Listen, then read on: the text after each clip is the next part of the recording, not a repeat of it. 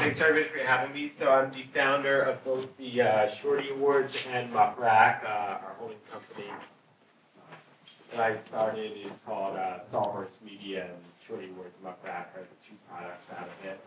So I'll jump into this all shortly, but first I just wanted to say it's great to be around a bunch of other minds in SaaS.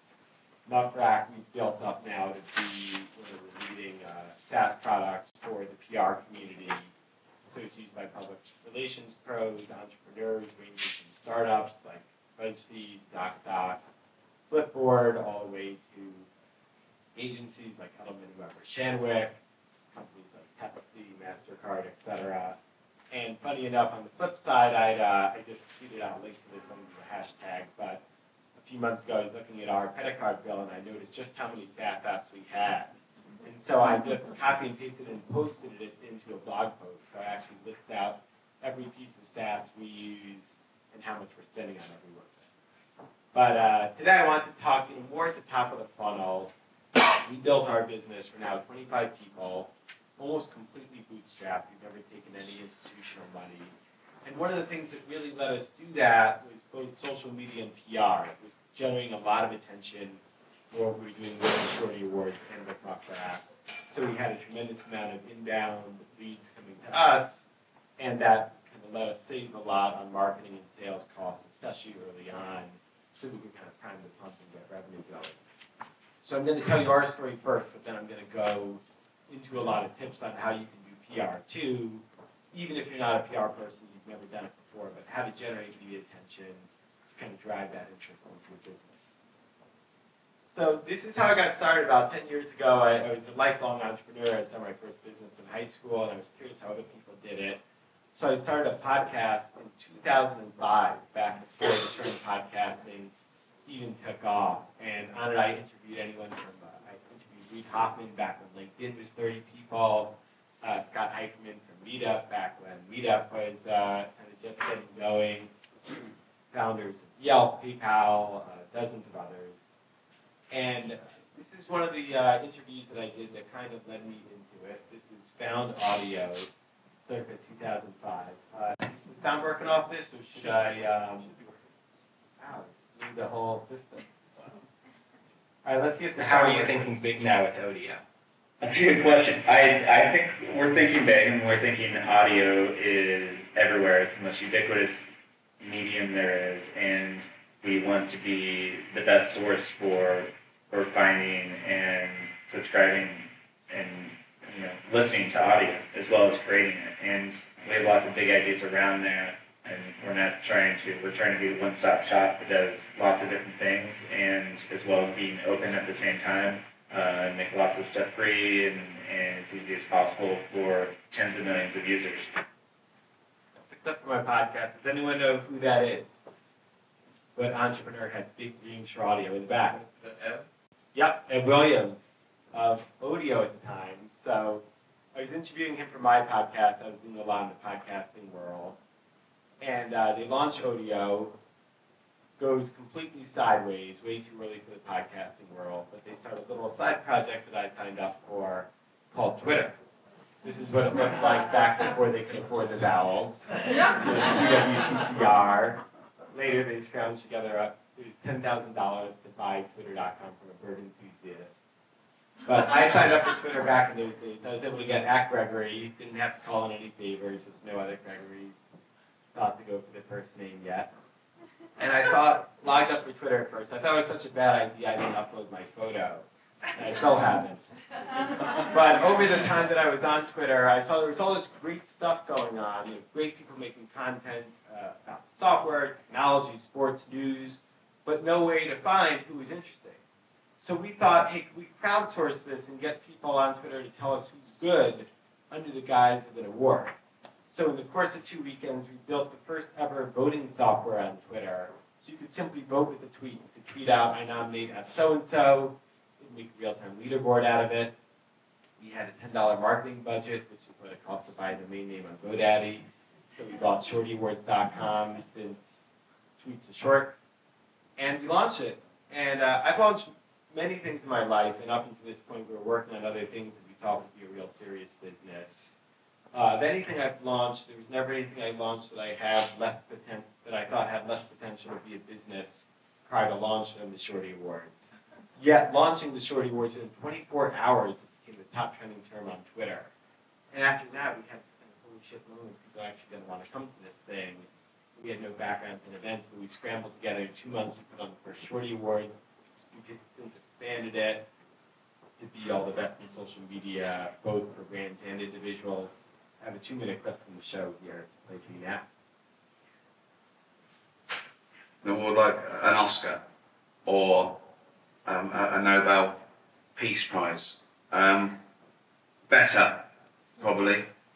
Broadway has the Tonys, Hollywood has the Oscars, and now social media has the Shorties. Welcome everyone to the seventh annual Shorty Award. The Shorties are by far the most prestigious. We are so proud to be part of the Shorty Awards. Thank you, Shorty Awards. Thank you for doing that. That was uh, pretty cool. I get a call, I gotta be at the Shorty Awards. I'll speak from the heart.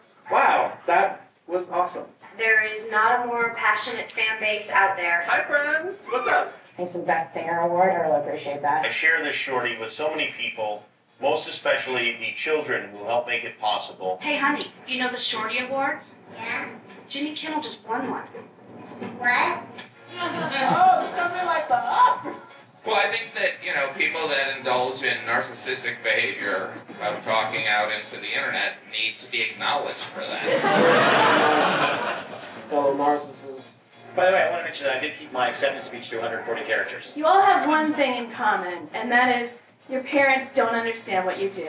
Thank you so much, Shorty Awards, for giving me the Best YouTube Comedian Award. I'm assuming it's because you don't have Most Ratchet Hot Mess as a category yet. Thank you. On behalf of the NBA, thank you so much for this surprisingly heavy award. I just really want to thank you for honoring me with the Shorty Award. This is very cool. I'm so excited. This is the only award in my office that I actually display, and uh, I'm just really proud of it. Thank you for this Shorty Award. Hashtag Shorty Awards. Well, you guys, this is really an honor. This is big fun, yes?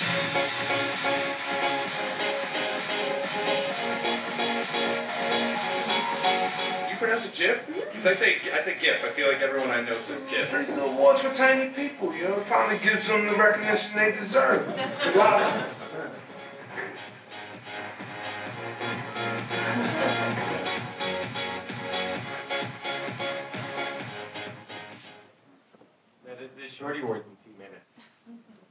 What, struck us though with the Shorty Awards was that that first year we did it, this was late 2008, uh, the ceremony was in early 2009.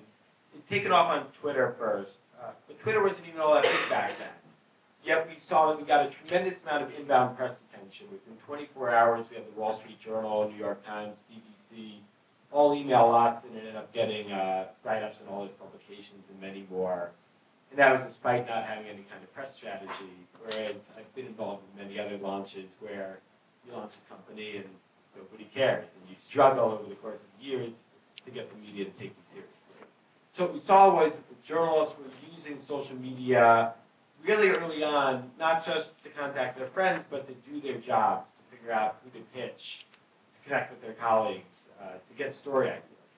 So that led us to create Muck Rack. Originally, it's just a site we could see all the journalists on social media, but then a few years later, we relaunched it as a SaaS platform so we do kind of three things at the core. Help you find journalists. We index every article written by every journalist and every tweet sent by every journalist so that you can see, hey, if I'm, this is the slide a MasterCard, which journalist written about me, so if I'm doing my next launch, what, what would be my pitch? Or if I were going after small businesses, I could search for which journalists tweet and write the most stories about small businesses, make a press list, and then actually get their email right through our system, email them to get the press pitch.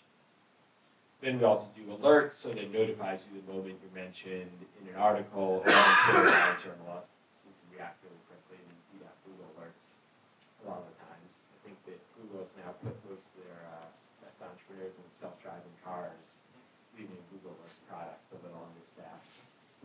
And then finally create reports to see the impact of all the press. With that, what I want to get into is how do you actually get press? So I think a lot of us in this room we're not the PR people ourselves, but we run companies, we run marketing, we work with agencies, we hire PR people. And sometimes we're just going to launch something on our own. And one of the great things about this function is anyone can do it. You don't have to be uh, a genius. You don't have to have deep industry experience, but just through some kind of common sense outreach, not that unlike sales, you can reach out and get press for what you're doing. Yet a lot of people do it wrong, and even when you hire agencies, uh, you'll see a lot of times professionals were kind of brought up in a different era, or, or kind of take shortcuts on how to do it. So they do these kind of mass blasts to press, and you know, we've all seen you have kind of a failed press launch, and you feel like you've done everything right, yet you don't have any results. So what I want to talk about here is, is the survey we did of journalists actually hearing how they like to be pitched, and kind of what we can take out of that to be successful ourselves. So first of all, we surveyed what social networks do journalists use the most, and we found, uh, whereas here, we might say to really kind of show our professional, we're probably more forward thinking here, so maybe a little bit less. I'd say most professionals would say LinkedIn is where I keep my professional pre- presence, and maybe I use uh, Facebook to keep up with some of my ex-coworkers, and then I probably use Twitter to follow my favorite stars, etc. Journalists, it's the opposite. 75% of journalists use Twitter as their, their top kind of professional social network. Uh, after that, Facebook, and then after that, only 2 or 3% for LinkedIn. Then we asked journalists how many times you check Twitter a day, or how many times you check Twitter. We said you check it once a month, once a week, once a day, several times a day. Of course, 86% said several times a day. We got several snarky tweets from journalists saying the question should really been how many times you check Twitter a minute. Once a minute, twice a minute, several times a minute, once every second. So they're using it all the time. That's a huge place to engage journalists, and I'll talk about that a bit more soon. If you decide to ask journalists, why do you reject a pitch? Why don't you take a PR pitch when someone emails you to cover something? Uh, aside from the irrelevant subject matter. So of course, you know, if you pitch a journalist and they're sports journalist, you ask them to write about your enterprise IT software, it's going to get rejected. But next to that, why do they reject? Number one reason, lack of personalization.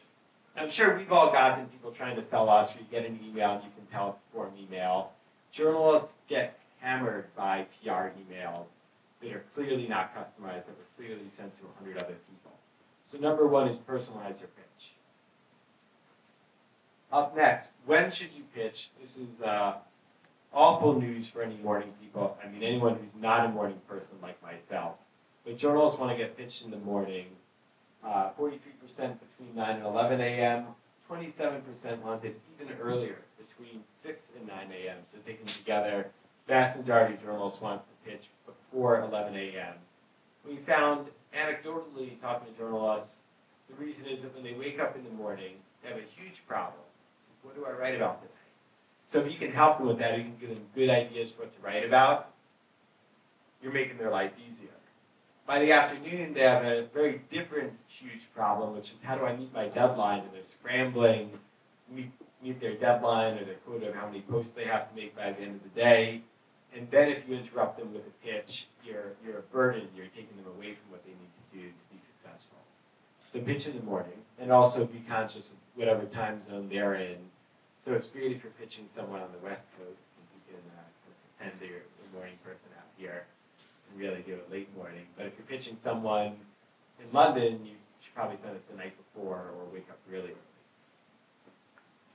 Next, keep your pitch short. So I think a lot of us, if you Google like 101 of PR, you find out how to write a press release and you're told, write this press release as though it's an article, write it 500 to 1,000 words, include the who, what, where, when, and why. But that's actually the exact opposite you should do when you're reaching out to a journalist. Uh, we found most of them want it in two to three sentences. The next biggest group want just two to three, uh, or sorry, two to three paragraphs or two to three sentences. Almost no one wants it 500 to 1,000 words. And we find what really works best just a really short email. You don't have to answer every question. You don't have to give the whole story. All you have to do is get the journalist interested enough to know more and reply with questions. Then you can build it out on everything. So think about your story, like what makes it the most interesting. I recently helped a uh, new entrepreneur where she was a former engineer at Rent the Runway. She pitched journalists, though, with this 500 word pitch kind of describing what it was. And she actually hid her title as founder because she wanted it to appear as being from a bigger company. So we worked on our pitch, we boiled it down to like two to three sentences, and the pitch was just, before engineer rent the runway, I'm going to start my own passion startup, are you interested in talking? That's it. It was interesting. You don't get, a lot of credibility, former female engineer, Rent the Runway, launching their own fashion startup. That's enough for a tech journalist. They get it. They want to know more. She sent that pitch out. She went from a 10% response rate to over 50%. Ended up getting placed in 10 different publications, all as a single founder, no budget for PR.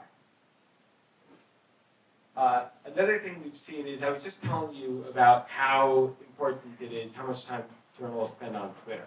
Yet there's a nuance here. A lot of people say, does this mean I should pitch on Twitter? In 99% of the case, definitely not. 93% of journalists want pitches by email still. Not, not email, definitely not phone, not fax. It's email is how they communicate. Yet, journalists, they want to be followed, that same 93% want to be followed by the journalists or by who's ever pitching it. And I think that this, this kind of creates this dichotomy where on one hand, Twitter is a great place to build a relationship with journalists. So I think it's extremely important before you pitch to journalists, follow them, ideally weeks before, not days before. Interact with them on Twitter, favorite them, answer their questions, retweet them. All these journalists who can make a huge impact on your company, who can write, you know, let's say a front page journal, a front page article in the Wall Street Journal, they might only have 500, 1,000 followers themselves. So if you interact with them on Twitter, they're really going to notice that. Yet the actual transaction is much better over email because it's private. If you pitch a lot of journalists over Twitter, guess what? They're going to notice. They're going to look at your Twitter feed and see that that same story just went out to 20 other journalists. It's awkward. They can't ask questions. So in almost all cases, pitch by email, with the exception either sometimes journalists explicitly say on Twitter, "Hey, I'm looking for a source." I had a, I got a great press for us in CNET where I saw a journalist tweeted out anyone going to South by to show off your company in the PR marketing space. I just tweeted back at him. Then he gave me his email. Then we had a phone call. Then I got the coverage. So there, the initial interaction started off Twitter, but it's because he asked for it. And a very small portion of journalists too will uh, say in their Twitter bio, "You can pitch me by DM," and in that case, by all means, do it. But the average journalist, they just want to pitch by email, but a short email, like I was saying, within the morning. And uh, next up, we probably all had the case where you email a journalist, you get no response back. So then the big question is like, did they consciously reject me and not like my pitch, or were they just busy that day? Good news here is over 70% of journalists are okay with at least one follow-up. Most are okay with just one follow-up. But you can follow up with the journalist, and I found for pitch journalists, nothing happens. They just reply to that original email and they say, hey, just checking if you got my last email. And sure enough, you know, the response rate goes up from usually something like 20 to 30 percent to 70, 80 percent if it's a good pitch. The other thing I found is good is um, if you created that connection with them on Twitter, and you follow them and they follow you, you can email them, and a lot of times just direct messaging them and saying, hey, did you get my email from two days ago? We'll get a great response. I've done that many times with a lot of success. Up next, we found that journalists, they really care about getting their stories shared on social media. It's this really powerful metric for journalists now. Over 76% said they're under more pressure now than ever before to get their content shared. What does that mean for you? You should really think about after you get the press. It used to be that when you get the press, your job was done, right? You cut out that article, you send it to your clients, you send it to your mom. You couldn't control how many people saw the newspaper, so, so that was it. Now that you get the press, your job's only halfway done, and this is where I think PR department and marketing department can really work together. It's not a fixed number how much, how many people are going to see that story about you. You can promote it many different ways. You can tweet it out. You can get it shared. And not only is it important because you want to have people see good press about you, but it's important to keep up the relationship with journalists because the journalist writes about your company and nobody reads it, nobody shares it, and then you contact them six months later when you have your new feature launch or your new round of funding.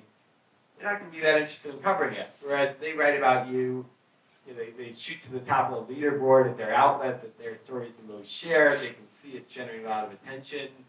They're going to look out for you in their inbox and fight to get the exclusive on your next story. So really think about how you get that story shared. We took it even further to ask journalists what makes a story shareable. Number one thing journalists thought made a story shareable is does the story have a good image with it? Because now, of course, when a story is shared on Twitter, on Facebook, etc., it grabs a thumbnail image, and that thumbnail image will really drive whether or not people see it. So really think about anything you're launching.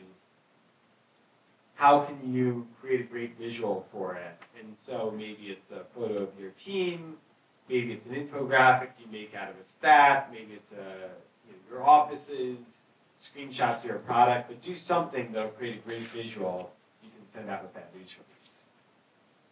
And so to sum up, when you're pitching out there and you want to get press for what you're doing, really customize it. Much better to find five or ten journals that your story is a great match for and put a lot of effort into that initial email, rather than just blasting hundreds of journals with the same thing. Uh, make sure you pitch at the right time, pitch in the morning, wherever the morning is for that journalist. Keep your pitch super short, relentlessly edit it down. That will make a huge difference. Interact with the journalists over Twitter, over social media, well in advance of your pitch.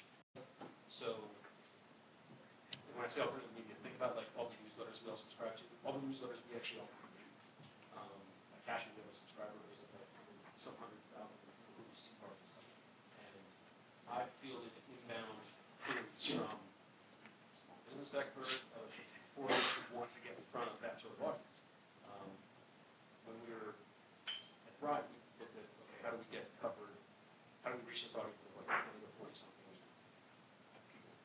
Um, Thrillist was three times larger traffic driver than I don't know the years from the New York Times. So thinking about sort of those alternative mediums as value worked well for us. That's a great point. Uh, I'll say also I found SEO really ties into PR here too. A lot of times you have experts on your team and you want to get them quoted.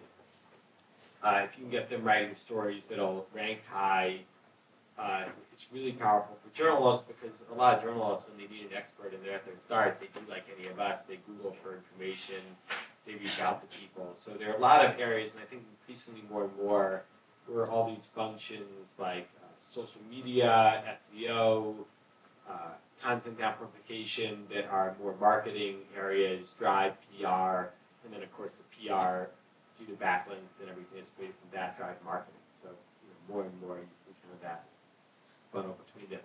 Yes. So, um, the only thing we're missing is the email address for these journalists. Uh, Can they detect it like Holy Grail, or do you share it willingly if they do, how to find it? Just go to LinkedIn and search it. Sure. So how to find email addresses for journalists. So one, of course, you can subscribe to Muck Rack. We have every journalist email address in there and we make it easy. But I'll, I'll give you all the secrets too. So a lot of journalists, a lot of journalists, they don't guard them too jealously. Some put in their Twitter bios. A lot of times you Google for the journalist's name. It's out there somewhere. Maybe even on their personal page. Google their name, then email. Some publications list it. Wall Street Journal has the journalist email address at the bottom of every one. And then how many people here know about the email permutator? Oh man, nobody. This is going to be my top tip. So there's a, a great uh, service, email permutator. Uh, you can just email me, greg at muckrack.com, and I'll send you the link. Or just Google email permutator, and I'm sure you'll find it.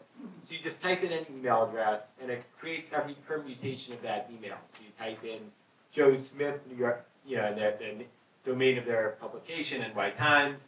It'll give you joe.smith at nytimes.com, jsmith at nytimes.com, every, every possible permutation. You copy those all into Gmail in your inbox, and then you download. How many people here have Rapportive? Since acquired by and ruined by LinkedIn, it's, it's still pretty. And I've had three services I love ruined by LinkedIn. Andrew here can join me in the commiseration club. But um, so you dump all those into your into the to field in an email in Gmail. You have Rapportive installed, and then you just mouse over each email address if that email address is the person's real email address, ninety percent of the time, it'll show you their LinkedIn profile on the right-hand side, and then you go, bingo, I have the, the right email for that person, and then you can email. So there are a bunch of ways to dig up an email address. I don't know why I'm telling you all this, and pleading the absolute need for you to subscribe to Muck Rack, but we, we do a lot of stuff aside from just that too, so uh, happy to give it out. Yeah. Uh, so you had mentioned the front end engineer, who Rent the Runway, had an idea, and she, and you helped her with that pitch. Um, and you, and you had said that she got ten articles or something like that. Now, when she pitched, was she, was it, uh, she had the same story for all ten, uh, reporters, or, did she kind of, was strategic and hit them with a little bit of a story each time? uh, different story each time Yeah. crafted. So what she did was she searched Muck Rack for rent the runway and other like very specific terms where you're like, if the person covered rent the runway, they'd probably be interested in what an ex-employee from there is doing since it's in the same industry. And she'd actually, but she wouldn't just search and make the media list in Muck Rack, but she actually read the stories these journalists did and the tweets they made about the industry and crafted it to show like you know, in one case, it, it was the person covered at the runway, so simply I saw you cover this, I'm doing this now. Whereas another one he tweeted about, it was something we get feedback on your closet, you know, and with what you should wear. So, you know, it was someone who might have talked about that problem and say, hey, I, wrote, I saw you wrote this story about this problem you have. I built the software that, that solves that. So rather than send out that email to 100 people by sending it out to just a good handful, with the right pitch, you got a really high response rate. Yeah. Um, we're kind of looking at investing heavily in PR strategy right now, internal or external. Do we bring it in house or do we go outside to an external firm? That's al- always a question, internal or external PR. My general, so I, you know, a lot of it breaks down to your specific needs, and I've seen people be successful both ways. My general recommendation, though, to, to startups that haven't done it before, is to get good at it internally before you bring on someone external. And the reason is that it's hard to manage an outside function when you don't understand it. Like imagine, you know, you hire an accountant, but you don't have any understanding of bookkeeping. Like it's going to be hard to know uh, what's going on in that function of your business. And secondly, it's that a lot of PR, you know, there's all the functional things that I talked about, which is how to go pitch, and, and that's what PR firms, uh, good PR firm is great at. A lot aren't, but good ones are great at that. But the hard part is to recognize what the good story is in your company. So a lot of times what happens is that, you know, you think the story is one thing, like, you know, everyone gets enamored with their own company. So I might think the story of Muck Rack, so we're providing the best data software ever for this industry. But of course, that's not a credible story to any journalist. Yet a lot of times the stories end up being that someone had this unique founding story, or that there's this, you know, customer case study that that's deep in the company that could be turned into a news story, or just one of your employees has a fascinating background they're bringing to it. So I find what, what can kind of lack a lot of times with the agency is that unless you're going to spend a tremendous amount of time with that agency and they're going to get really deep into the organization, they're not going to really know the story about these. So they'll just go for the obvious opportunities that anyone can get, you know, your funding event, your new product launch. So I, th- I think what's really important is for someone at your company, it could be that you hire a dedicated PR person. It could be that one of you just tries doing it for a month or two before you outsource it. But to have someone in the company who really has that kind of nose for what's news, to kind of bring that internally and surface those stories, and then use the agency to pour gasoline on the fire. We have time for one more question. Great. Yeah. Um, Or, or, you know, I'm sorry, we, we just had someone who hadn't asked the question before. Um, I was just curious, so there seems to be a disconnect. All the, the, the media likes getting the pictures over email, but they spend every minute on Twitter.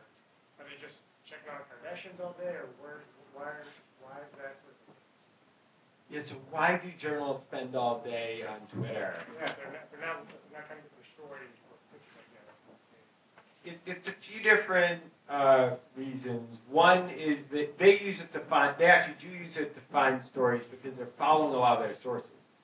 So they, they don't want to be pitched on Twitter, but if they cover Salesforce and Mark Benioff tweets something, they need to know about it that second. They can't wait till later.